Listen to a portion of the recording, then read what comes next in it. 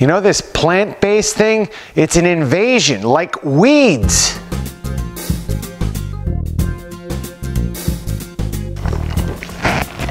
Hey there, NJRoute22.com here with another quick vlog for the low-carb, keto, carnivore world. Um, and I, I, find this plant-based thing every week. It's plant-based in big letters everywhere. Plant-based, plant-based, plant-based. The latest victim here for this uh, invasion. I like to call it invasion because it's not like plants, beautiful plants. It's like weeds. They're invading like weeds. They're, I don't know how they're even getting in all these places. Like Dunkin' Donuts has uh, plant-based sausage biscuits. I, I just don't understand it.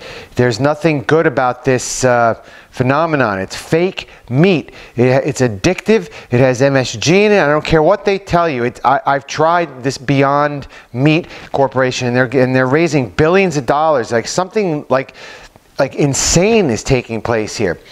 And I wouldn't recommend anybody eat any of this stuff, let alone eat anything at a fast food place. Your best bet's to get some good quality ground beef or red meat or steak.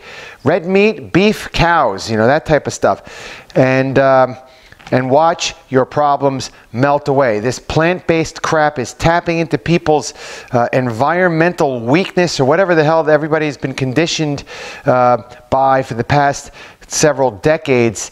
Um, I, just look at the movies that happened in the 90s, like Armageddon and any one of these, these environmental things. You'll see these little environmental hints being peppered into uh, publications and movies and TV shows and kids' cartoons even about the planet, saving the planet, saving the planet. Go look up um, George Carlin, Saving the Planet, and you'll get uh, probably the most truthful uh, piece of advice out there. So avoid these plant-based things. And I don't know who's falling for it, but it's not us.